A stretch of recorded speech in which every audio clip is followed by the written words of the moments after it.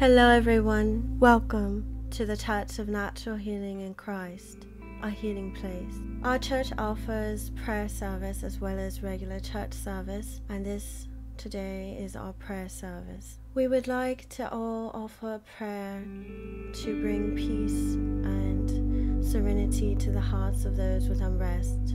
There's much sadness, and the world has a bit of a feeling of unease lately.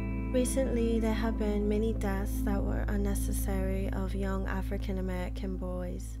We would like to take a moment today to pray for those boys and their families and to help bring some peace and ease to others, others in the African American community as well as in other communities. What is occurring now is not just a black problem, but it is a world problem that should be addressed. Though change cannot come in a day, Little things like this can make a huge difference. So we ask that our Lord hears this prayer.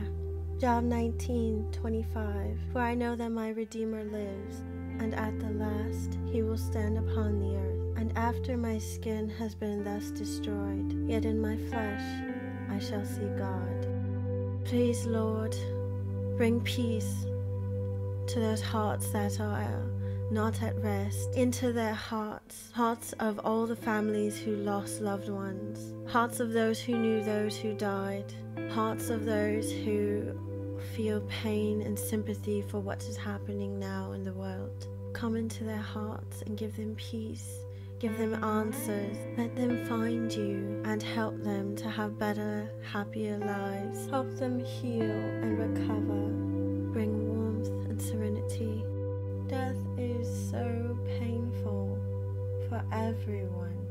Friends, family, and even acquaintances.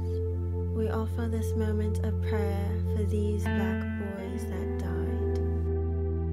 These black boys were teenagers and they died after the Michael Brown incident. There have been many more, I'm sure, that others are unaware of that. When they died, it was not brought to the attention of the media and the rest of the world, so their deaths were literally just known among the family and friends who knew them. We offer a prayer for them and their families. Please offer a moment of silence for Tamir Rice. Tamir Rice was only 12 years old when he was shot by an officer. Please take a moment of silence for Cameron Tillman. He died at 14. Please offer a moment of prayer for VonDerrit Myers Jr. He died at an older age, but he was still a teenager. He died at 18 years old. Please offer a moment of silence for Laquan McDonald.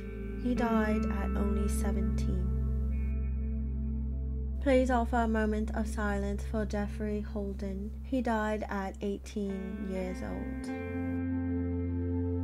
Please offer a moment of silence for Qshawn Whiten. He died at 18 years of age.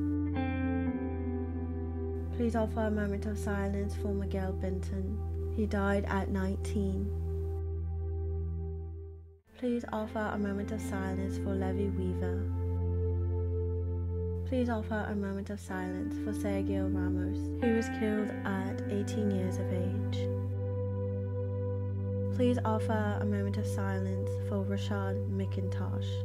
He was only 19 when he died at the hands of a police officer.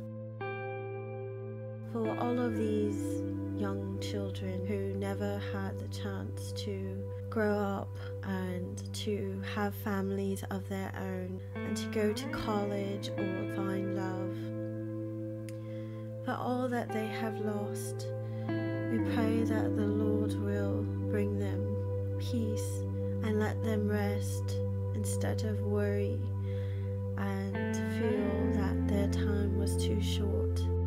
Death is usually so quick, but it lasts forever for the families and those left behind. Please, Lord, your healing energy into the families that have lost their children, these these American them peace, Lord, and understanding and healing. For we know you can heal anything, nothing is impossible for you. That will conclude this prayer service, everyone. Thank you for being here today and for listening. And we thank you so much for your prayers. The more prayers that people give, the more powerful that it is. It is people coming together in the Lord's name to call upon Him to heal and do the impossible. We thank you all today and we wish you all the best. God bless. Isaiah 41:10 Isaiah 41:13 Fear not, for I am with you.